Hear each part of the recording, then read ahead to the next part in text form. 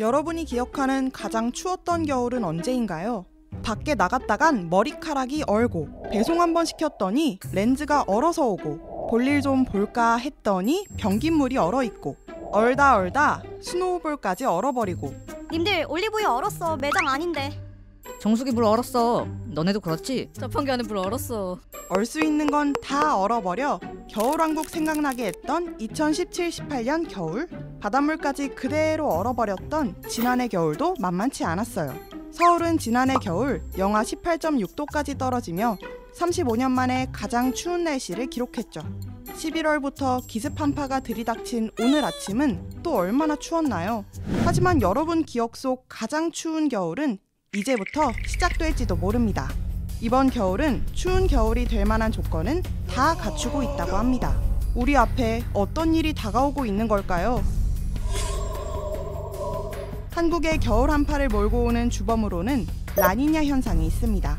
동태평양 적도 지역의 바닷물 온도가 평상시보다 0.5도 낮은 현상이 5개월 이상 지속되면 라니냐라고 하는데 올해는 바닷물 온도가 평년보다 0.8도 낮은 상태입니다. 이대로 가면 라니냐가 발생할 가능성이 아주 높아요.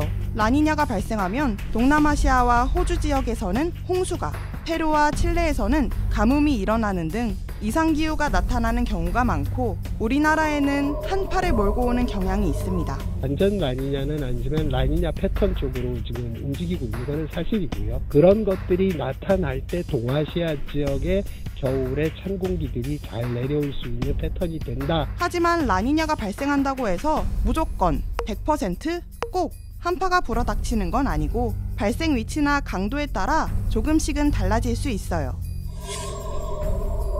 북극의 찬 공기 소용돌이는 강해졌다 약해지기를 반복하는데 소용돌이가 약해지면 북극 진동 지수가 음을 나타냅니다.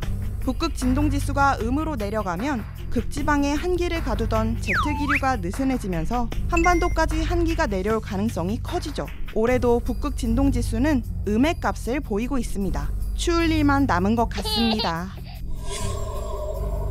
북극 얼음이 많이 녹을수록 제트 기류가 약해져 남쪽으로 찬 공기가 밀려오는데 2000년대 들어와서 지구온난화 때문에 얼음이 녹으면서 북극에 찬 공기를 남쪽으로 더 밀어내는 그런 일들이 더 자주 나타나고 있거든요. 북극해 중에서도 특히 우리나라에 영향을 많이 주는 지역은 바렌츠 카라해.